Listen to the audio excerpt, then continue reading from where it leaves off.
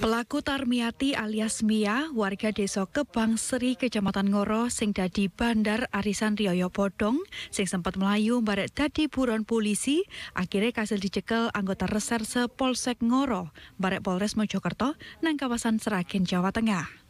Kecekele pelaku iku sok marine petugas teko Polsek Ngoro barek Polres Mojokerto entuk repotan teko puluhan korban sing rumangsa di Plokoto.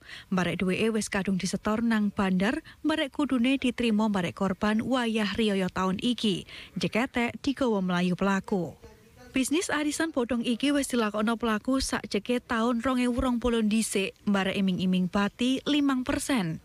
Pelaku kasil ento anggota akeh petang atus uang, barek total duwe sing disetorno sak miliar repes. Lah duwe iku dikaya pelaku tuku motor, barek bangun omah karo nyaur utang. Iku mau dijak wis sampe wong percaya kabeh.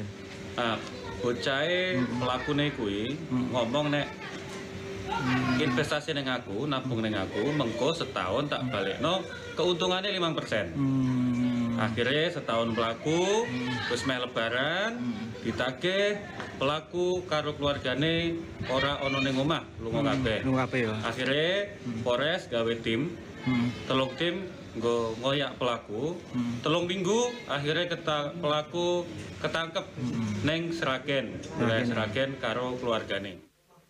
Dengar petugas pelaku Tamiati alias Mia gelo barek nangis wis ngelakokno pelukutuan barek kedok arisan Rioyo. Pelaku kepeksa ngelakokno pelukutuan polai duwe utang akeh nang tonggone karo bank.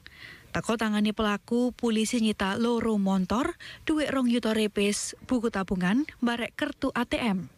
Akibat kelakuane, pelaku diciret gawe pasal telu pitu loro barek telu pitu wolu KUHP sing incimane petang tahun dipui. Aminuddin Ilham, JTV.